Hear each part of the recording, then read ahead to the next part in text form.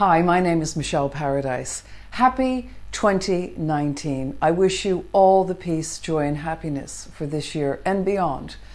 My tip today is do not, do not make New Year resolutions. New Year resolutions are like a to do list for the first week of January.